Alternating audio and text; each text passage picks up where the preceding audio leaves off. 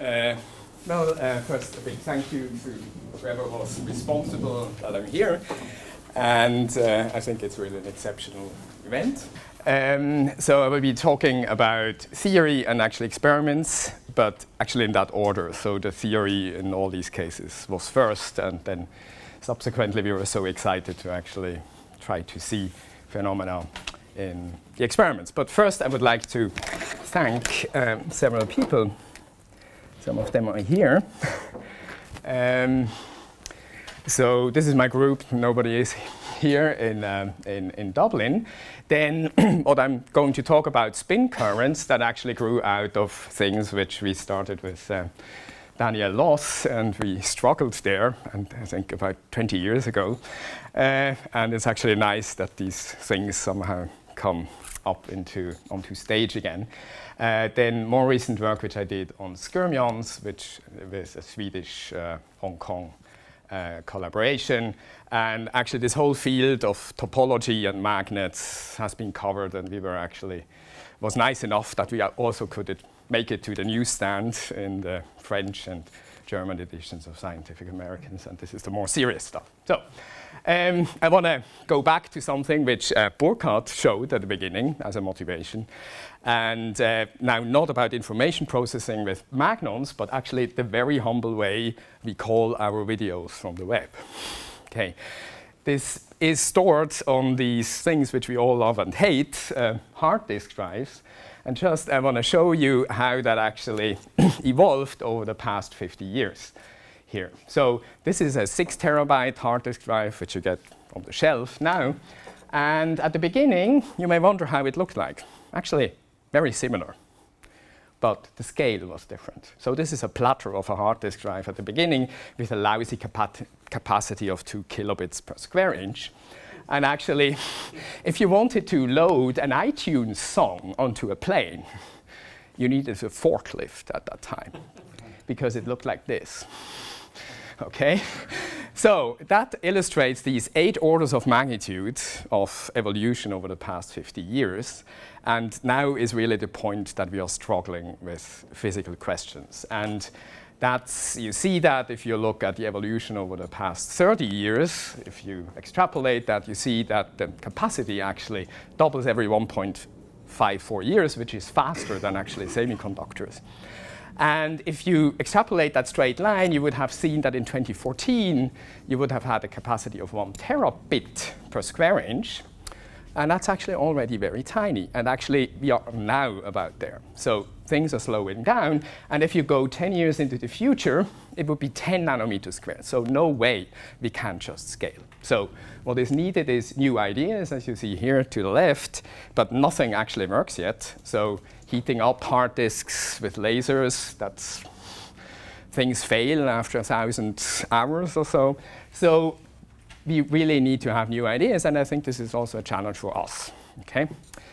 And as physicists, of course, you're fascinated by, I think, this workshop quite nicely illustrated. The first day was a bit more classical, except Daniel, I think, gave a quantum twist. and then the second uh, day was a bit more was quantum spin systems. And, but actually, there was also the question about Bose-Einstein condensates and so on. And actually, I will return to that in the last part my talk. But anyway, so this you can describe with a classical theory. You go smaller, and then when you eventually have something like atomic chains, you really need a quantum description. But this is just about two orders of magnitude here in scale, yet we switch between quantum and classical. So really, there is a lot of room for really interesting phenomena, and I think that's why we're all here. And what I want to do is just simply actually connect these things and you know, we have seen that just in the first two lectures this morning, magnetism is a quantum phenomenon, right? We can't get around it. We need to go back to the Dirac equation. Yet, when it comes actually to the description, and I love to see the first equation of Allen, the Landau-Lifshitz equation, that's actually how the engineers use things. So that's a t equals zero description. And then, of course, we know phase transitions, right? And these are descriptions which are disjoint usually, and even when we discuss, we somehow fall into one of these attractors. Yet, we have experiments uh, in between. So what we really need to do is to find connections, and I want to illustrate something there, and which also historically for us, for Daniel and myself, and then with the neutron scatterers, was actually what, yeah, what brought us to insight into quantum thing. Then thermal fluctuations, that's now for data storage, that's important. I won't say a single word about that here. And it turns out that topology, which is also somehow the elephant in the room now during these days, plays a very important role and it helps us to understand phenomena in these different areas. So uh, we focus on this right-hand side, except that I start a little bit with topology, I think because it's a bit complementary to what has been said before. So at the beginning, actually, I will also say something about skyrmions. There are people in the audience who worked and we have heard something before. But actually, also here, I will be complimentary. I will say, tell you things which you do not normally hear in talks. So then the second part goes then to this emergence of chirality or spin currents. Uh, which I just mentioned before, and I emphasize there is no DMI there. So there is nothing, nor is there a, a symmetry in the boundary conditions. This is just spontaneous emergence of chirality. And finally, uh, dipolar interaction in quantum spin systems. So dipolar interactions are not the bad and the ugly, as has been mentioned on Monday. Actually, they can be really helpful, and I think this is an absolutely fantastic system to see many of these phenomena. So just to I can flash this. You saw this before. Uh, what I want to show is you can derive Landau-Lifshitz equations from an action, and the quantum action looks pretty much the same. But there is one thing, and we see enormous consequences of that, of that one. And I think Daniel, in the context of spin tunneling, has emphasized that, and we then subsequently emphasized it for a field theory. Um, this one is really important and the energy which we are looking at is, you know, the sum of exchange, and anisotropy, whatever you want, right, including dipolar interactions. So that sets the stage of what I want to talk about. And uh, so then, why do we care about topology then? We care about topology because the magnetization is a continuous vector living in continuous space. Okay? And with respect to data storage, we are interested in the fact our configurations stable because we want to keep the bits. And actually, all of the proposals of the recent proposals go in that direction. Domain walls, topological objects, racetrack memories, racetrack memories, skyrmions, and so forth. So, and then finally, of course, we also want to write things. So we want to know what can we actually easily transform into each other. And so this thing of continuous deformation is central. And this is something which you probably have seen, you know, you're on breakfast table, you're a bit dizzy. Uh, so you're not quite sure whether the cup transforms into a donut or vice versa. And uh, so the two are obviously equivalent. Uh, but another object on the breakfast table is not, right? And that's the orange because you would have to punch a hole into the orange to transform it into a donut.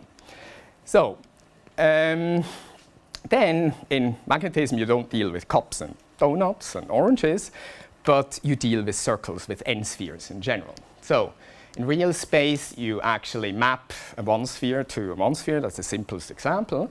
And we can have vortices, right, where the phase winds around. And that actually, if it winds around once, we have a winding number of 1. And quite generally, we can characterize these things by winding numbers, which are integers. Okay, so now we can actually have mappings which are non-trivial between spheres of any dimension. One, two, three, four, five. Okay, two spheres, which turn out to be important just in a second, and zero-dimensional spheres. Zero-dimensional sphere is actually an Ising spin. Okay, the configuration space of an Ising spin is a zero-dimensional sphere, and that actually just tells us whether we do have a domain wall or whether we don't have a domain wall. So up-up or up-down. So, uh, and now these winding numbers take us where we actually want to be. It, it, it sort of tells us whether we are, can easily transform one configuration into another one. Whereas if we change the winding number, we do something at the sample edges, or you know, we have to think about. So, uh, so okay, um, now a vortex you all know this, I just want to repeat that. Uh, we identify this object because we can go around it, we see a phase change and circles of ever decreasing diameters, and if we keep the spin in plane, then actually the spin doesn't know in which direction to point. So actually the order parameter is zero. So that's a singular point defect. And in that sense, we have many defects, okay? We can actually put them into this, into this grid. We have domain walls of zero dimensions. We have domain walls in a film, which is a one-dimensional object, or a wall in a three-dimensional sample, or a vortex in a film, or actually a vortex line in a 3D bulk system, or a hedgehog for a spherical spin. And we actually can, uh, it, and the degree, that's just, don't want to go into details, uh, um, but you actually had the dimensions of the defect you can relate to the dimension of the order parameter space and the dimension of real space. This has mainly been known in the context of liquid crystals already, so nothing new, or not so much new.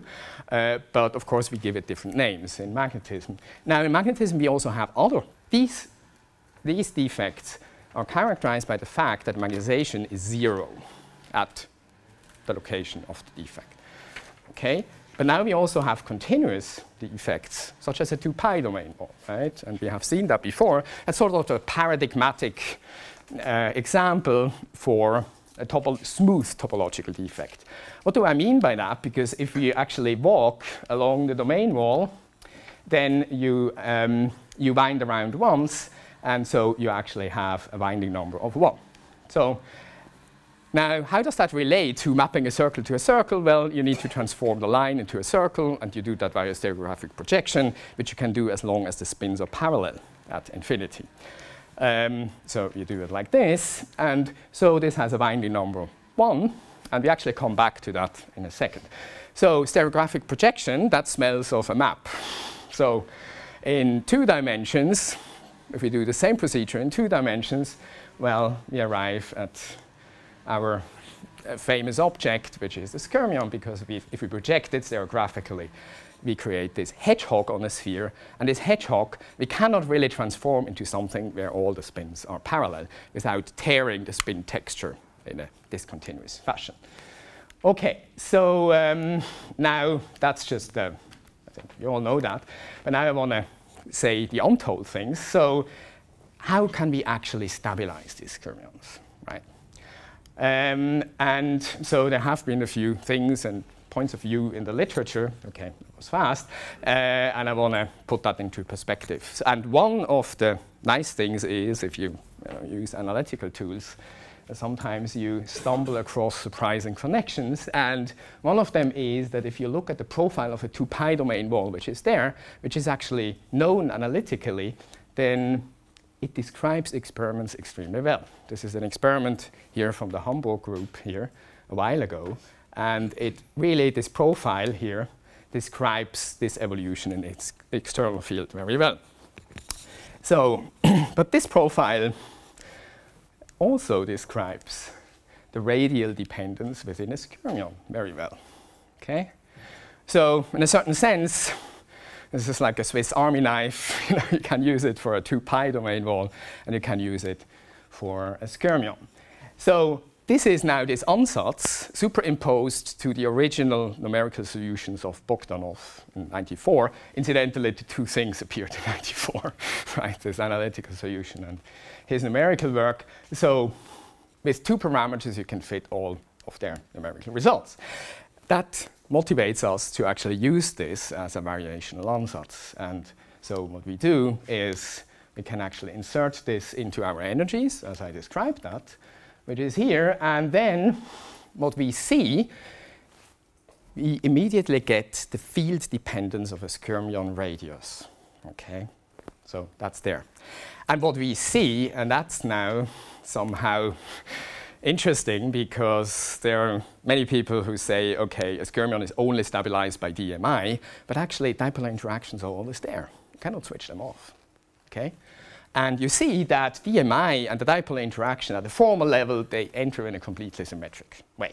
Of course, when you actually go to a system, then the dipole interaction is sometimes smaller, but it may have the effect of actually raising D above the critical value, such that you actually have skyrmions in your particular system. Okay, so uh, so both dipole interactions and Dzyaloshinskii-Moriya interaction contribute to the skyrmions stabilization. All the quantities that you have are dimensionless um, quantities. Benjamin. So yeah, I thought the conventional wisdom was that uh, it's the bubbles, like really large skyrmions. No, no, that this is like, that- just look at this, right? Okay. so this is the experiment in, uh, in the Hamburg group, right? So they are small. So the dipole interaction there is not negligible, okay? So if I actually insert everything, I get this. And actually, I mean, when you see this, you say, well, something is wrong, right? The agreement is so good, okay? And actually, um, if you look at, you see this is 0.2, okay, this is 1.3, so it is smaller, but if it is 0.9, actually it, you know, exactly raises you above the critical value, right, of 1. And that's the point which I would like to make. What is the material now? Uh, oh, that's, what was it? Yeah, yeah, it's, it's like, it's extreme, it's like, um, I think, bilayer or so, so it's really, really tiny. Like right. Um, yeah, it's iron on platinum. I think, yeah. So I think so. Yeah. Um, so, um, but what you see is that, as a matter of principle, you know, both enter in the same way, and it's a particular situation which tells you, you know, what is actually more important and what actually is responsible for the stabilization.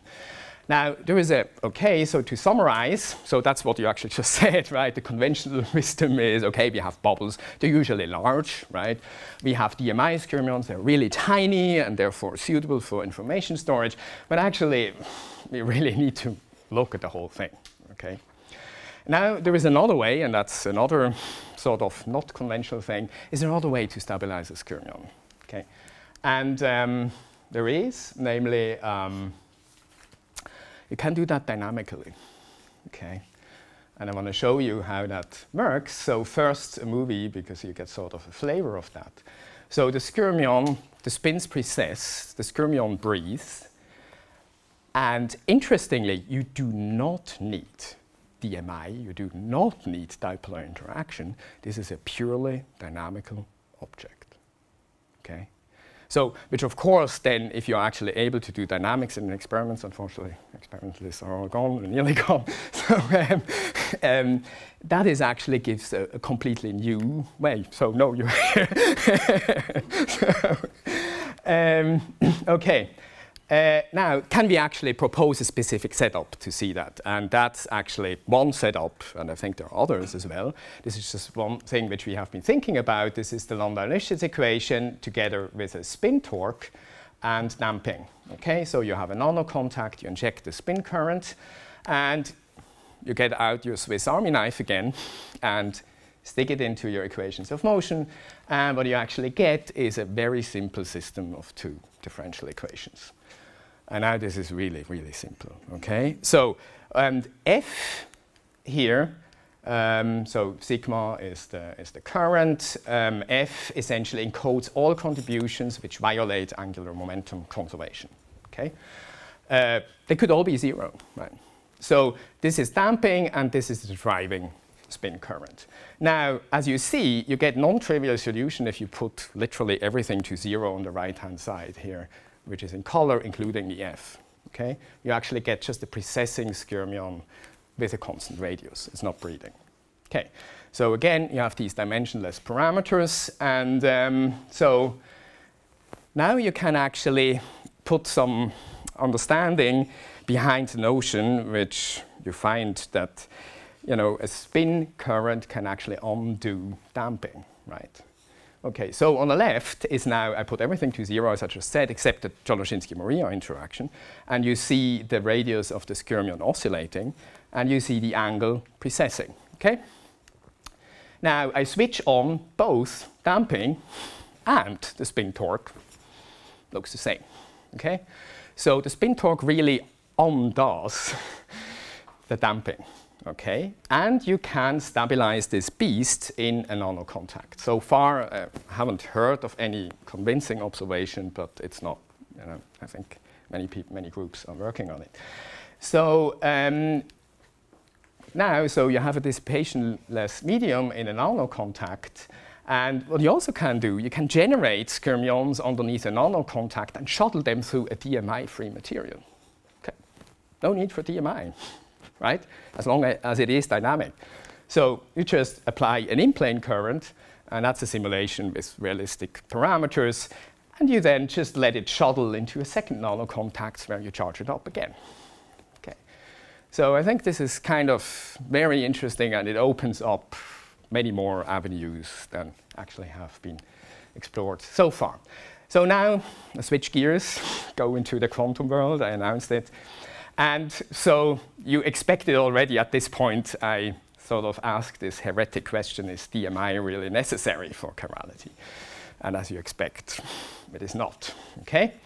So, um, and actually, it is really a feature, it is a consequence of quantum fluctuations, and I want to show you that at all levels.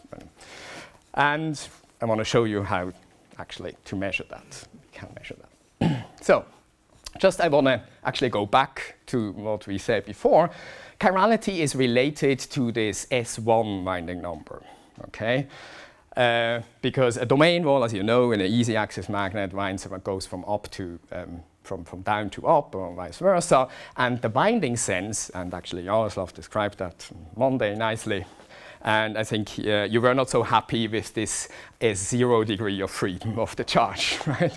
Which tell, tells you actually how you respond to an applied field, for example. So, so you have two topological charges associated with a domain wall, which is the charge, as we called it, we called it the charge, and we called that um, the handedness, the chirality. And that's related to this um, winding number. So, now, to put it into a nutshell, so you, well, that was not so good, this nutshell. uh, yeah, back to this issue of chirality. So we know that domain walls at a nanometer scale are chiral. Yet, in an Ising system, there is no chiral degree of freedom. There is just really this S0 charge. Right? So where does it come from? Okay? And one way to understand it is actually to look at, uh, so this is chiral, is a chiral, it is clear, is to, one, to look at one of the fruit flies of low dimensional magnetism. I mean, we are by no means the first ones to look at such a thing. It has been investigated very well, characterized very well. As you saw yesterday with Christian Rüegg's talk, um, these are chains of cobalt atoms. Uh, above the Néel temperature, you have essentially a bunch of uncoupled chains. So you explore the one-dimensional physics. And um, so in this case, I write it now, unlike um, some of the people yesterday, I don't use a delta, I use explicitly JZ, JT, for reasons which you will see. Um, so you have an Ising term and you have an xy term. And actually the xy term, sorry, that was a bit fast, is much smaller than the Ising term. So you just add a little bit of quantum fluctuations to the Ising system.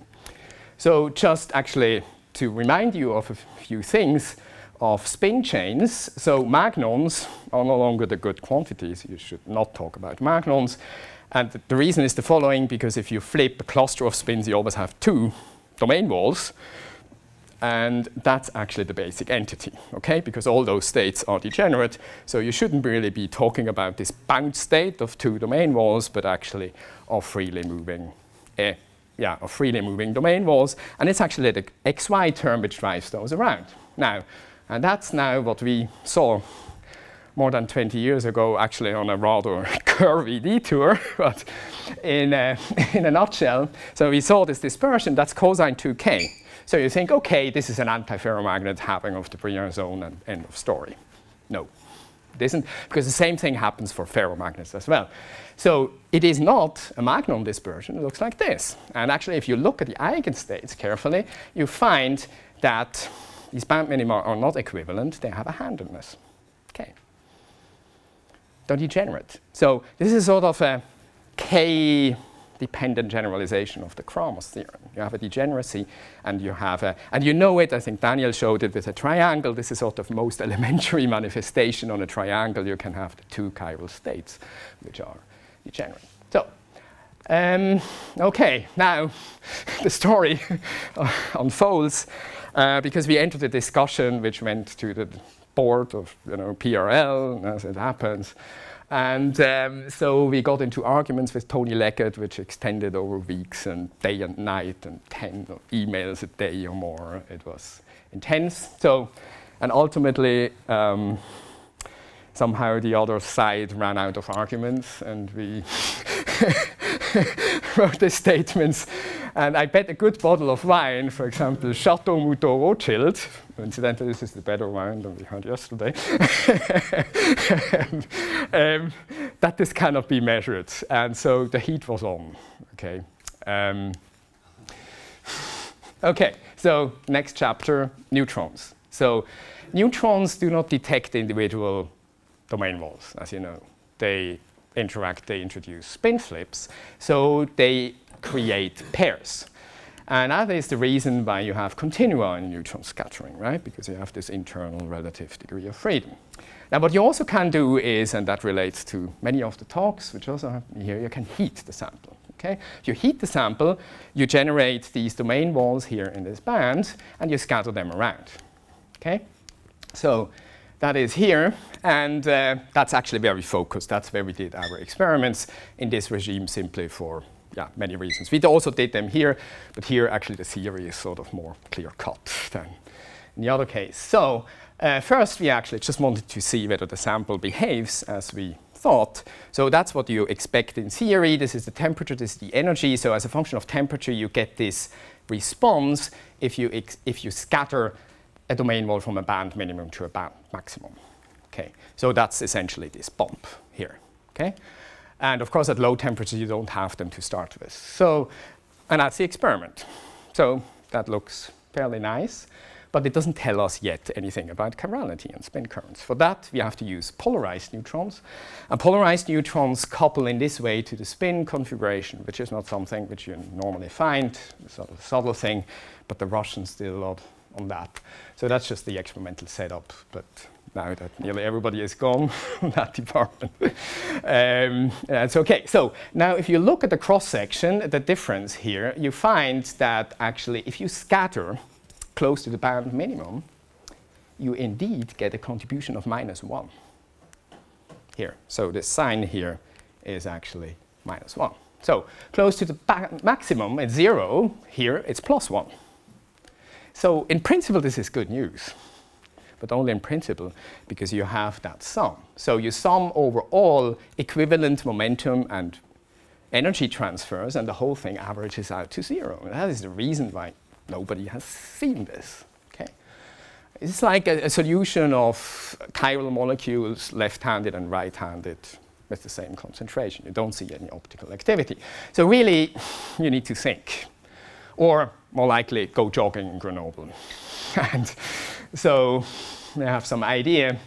And the idea is to apply a transverse field. Now, a transverse field in this XXZ model, this is actually no longer exactly solvable because it's a transverse field, um, but in perturbation theory you can, uh, actually has the effect not of splitting, but actually of deforming the band. And that then removes the degeneracy between transitions out of these minima.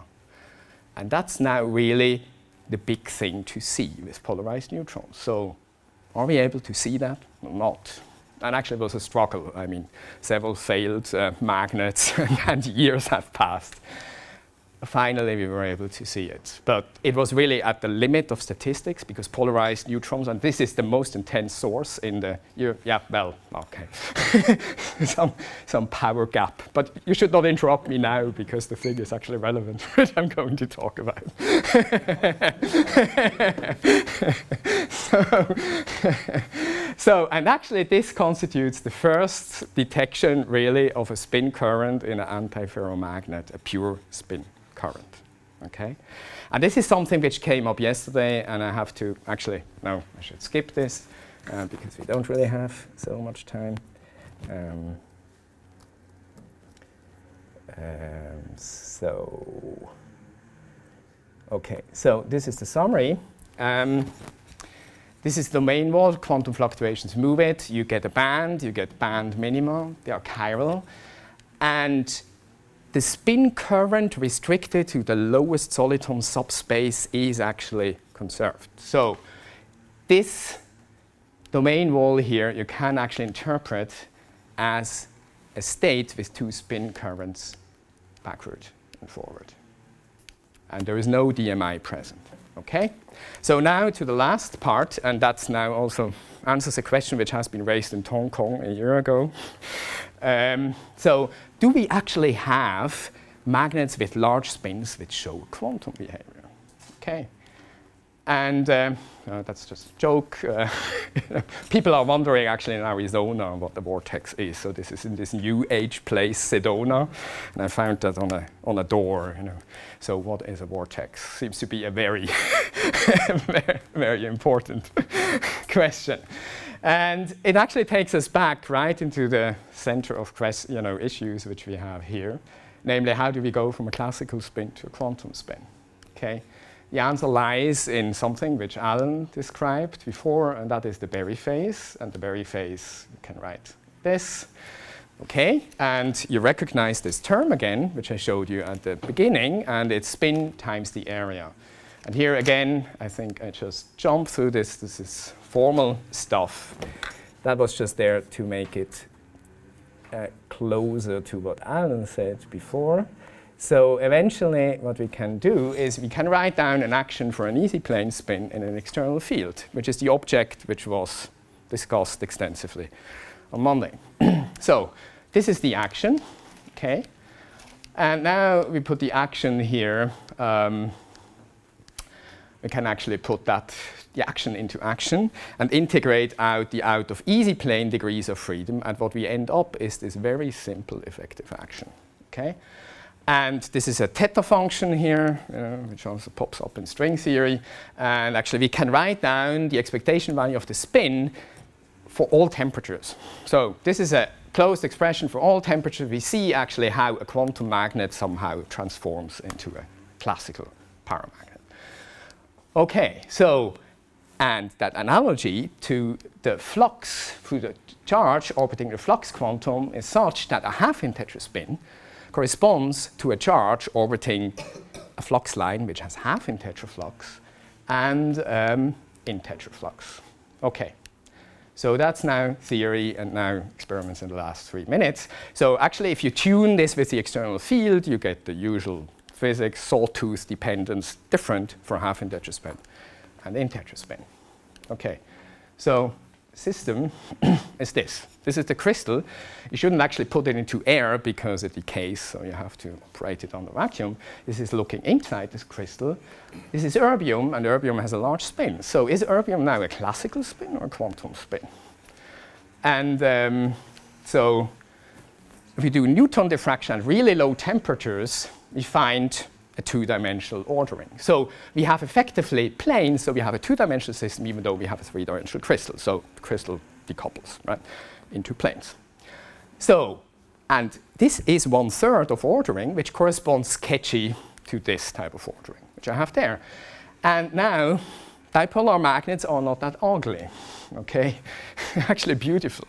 This is now dipoles on a honeycomb magnet the ground state has a continuous degeneracy, which is not like that of a ferromagnet, but sort of like an optical mode. Okay, so the spins rotate in opposite directions on the two sublattices. So now going into the crystal fields, of course, we have quantum levels. And we can do that, we can calculate something, but more importantly, actually, we can do the experiment. So this is crystal field levels measured with neutrons. We can extract somehow predict the evolution of the levels with a field, and you see that it sort of uh, resembles what you've seen before. Okay, and that's the actual experiment. Okay, so what is actually happening? So what is actually happening is at zero field you have ordering one third, one third. You raise the field, you lose the magnetic ordering. You raise it again, you get it back, and then you lose it again. Okay. So we do not have, and that feeds now back into your talk before, uh, this is not just a canting antiferromagnet or any type of magnet, it's a dipolar magnet. But this is a magnet which undergoes quantized, quantized steps. So really, large spins are quantum too. And you have to remember that in the context of spin ice, which we quickly have seen that, you know, normally you describe them with classical spins. So, okay, now we can look at the specific heat, actually at zero field. And what we see is the specific heat of a 2 plus 1 dimensional xy model. It's consistent with a 2 plus 1 dimensional xy model. The one dimension tells us that we are dealing with a quantum system. If we lose the magnetic order, we just have nothing, we just have Schottky slope. And that tells us that you know, this, we didn't somehow lose this peak because it moved around in a Brillouin zone. We really have nothing. And that reflects the levels, and then now I'm finished. Um, so now, effective action of a dipolar magnet looks like this. Effective action of a Bose-Hubbard model looks like that. So what's the difference? Okay, well, the difference is we have here the dipolar interaction, here we have a ne nearest neighbor, but that's not really relevant. So really, we are back to this Bose-Hubbard model directly, and we know now actually what's going on, because the field plays the role of the chemical potential of the bosons. And if we go through this thing at the cut, we have the superfluid phase, the gapped phase, the superfluid phase, and the gapped phase. So what does the experiment tell us? I mean, that's essentially what, what, the, sorry, what the experiment tells us, but now what about the temperature dependence? Okay, this is a bit slow. The temperature dependence is, okay,